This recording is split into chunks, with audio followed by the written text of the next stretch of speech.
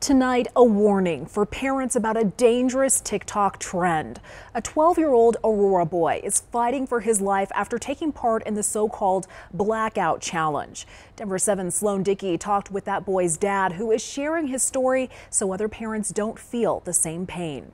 He wants to be fit, he wants to be counted for, and he just pushes himself. Joshua Haileyesus is a hardworking 12 year old. He wants to be an actor. He had a submit a video acting to Simbot app. Sharing his achievements online from acting to playing the guitar. He worked so hard. He bought a guitar to play on it. He taught himself from YouTube. To cooking. He does work hard to impress me, impress everyone.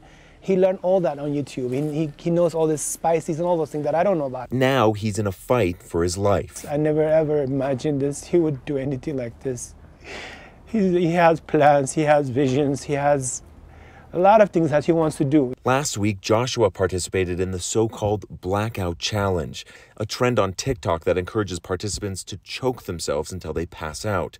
The videos are so disturbing, Denver 7 has decided not to share them. I would never, ever imagine he would do such a thing, but the fact that he's exposed to ideas, like this kind of ideas, it's just crazy. And Joshua's parents aren't alone. Kids across the country are giving in to this dangerous TikTok trend. The kids especially, they don't know that fragile, how fragile they are. Now Joshua's family is warning all parents this is serious and deadly. I don't know why people would do such a thing. I don't know why people would post those things. Then maybe they're looking at it as a game, maybe they're looking at it as a prank, maybe they're trying to see their viewers can laugh about it. For a week, doctors at Children's Hospital Colorado have been working to save Joshua, his parents hoping and praying.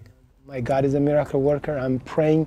I needed some time to um, just for him to come out. A young boy in the fight of his life because of a social media challenge that went too far. It could be a prank, whatever it is. This is not a joke. This is not a, a game to play with. You know, I, I am going through this pain, but I don't think anybody needs to go through this pain. And this evening, family, friends, and neighbors of Joshua gathered at Children's Hospital for a prayer vigil that ended about an hour ago. His parents say they wanted to get his story out for two reasons to ask for prayers for their son and to tell parents across Colorado to talk with their kids about this dangerous trend. Reporting in Aurora, Sloan Dickey, Denver